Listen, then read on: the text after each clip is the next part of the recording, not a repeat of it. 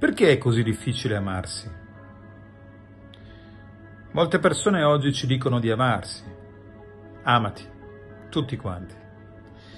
Sembra diventata una moda. Ma la cosa fantastica è che nessuno riesce a farlo bene. O meglio le persone tendono ad amarsi mentalmente, ma non arrivano nel loro io, nel loro profondo.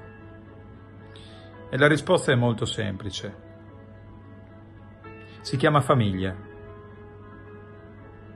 Quando quella mamma mette alla luce suo figlio, quella mamma ama suo figlio e il papà ama suo figlio. Ho sbagliato. Ho imparato a guidare la macchina osservando gli altri. Ho imparato a guidare la macchina osservando che mio padre insegnava agli altri a guidare la macchina. La stessa cosa vale per l'amore.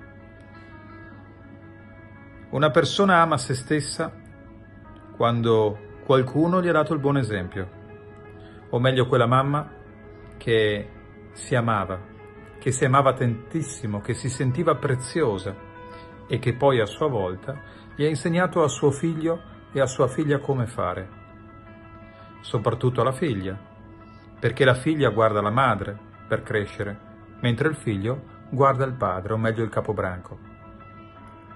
Oggi le persone non si amano perché i loro genitori non si amavano.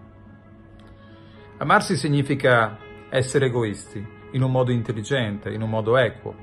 Essere egoismo in, nel senso non di, del parlo di materiale, ma proprio sento una cosa, quella è la cosa che voglio.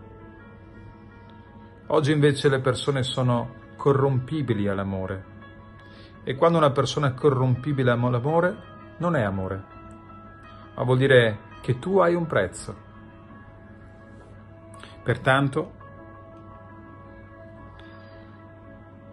se oggi sei in difficoltà e senti che non ti ami, la prima cosa che devi fare è quello di tornare alla fonte.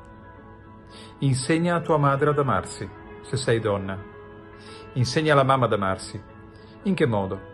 Amandola tu. Ti amo mamma, ti abbraccio, ti accolgo e ti lascio andare per il tuo destino. Insegna a tuo padre ad amarsi. Insegna a loro ad amarsi. Così facendo loro ti daranno un abbraccio e in quell'abbraccio tu ti ami. Riparti da lì, riparti dal loro amore e ogni giorno fai qualcosa per te, ogni giorno, ogni giorno. Che cosa hai fatto per te oggi? Che cosa hai fatto per te ieri? Fare, creare. Creare qualcosa di meraviglioso, ma anche di semplice, dove tu metti la tua anima preziosa davanti a qualsiasi cosa nella tua vita, perché tu sei nato per te stesso, tu sei nata per la tua evoluzione. Di conseguenza, tutto ciò che ti circonda non è altro che un premio all'amore che tu dai a te stesso. Più amore ti dai e più la vita ricambierà l'amore che ti dai. Quindi, torniamo alla sorgente.